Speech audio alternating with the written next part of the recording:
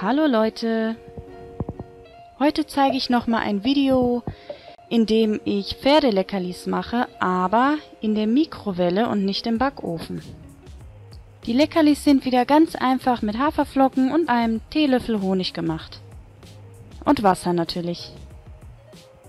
Ich habe alles mit der Hand durchgeknetet und kleine Leckerlis geformt. So, ab in die Mikrowelle und dann bin ich mal gespannt, ob das funktioniert. Ja, die Mikrowelle war natürlich nicht eingesteckt.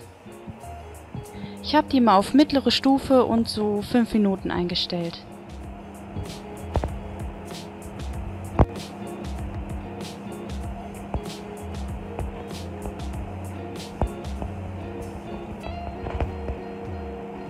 So, die ersten paar Minuten sind fertig. Ja, doch, ist hart geworden. Aber ich denke mal, es muss noch ein bisschen. So. Sehen aber sehr gut aus.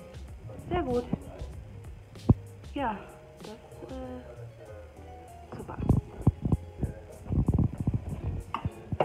Dann habe ich die nochmal fünf Minuten eingestellt. Es war aber doch ein so, bisschen zu viel. sehr lecker. Und ja, das, ich würde sagen, das reicht. Oh je. Oh je.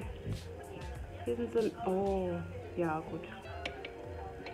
Muss man irgendwie wegmachen. Naja, aber die anderen sind was geworden. Gut.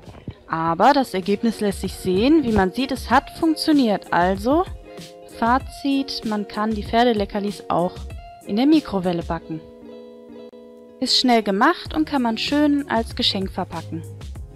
Hier habe ich ein Geschenktütchen fertiggestellt für ein Tauschpaket mit Meine Pferdeträume.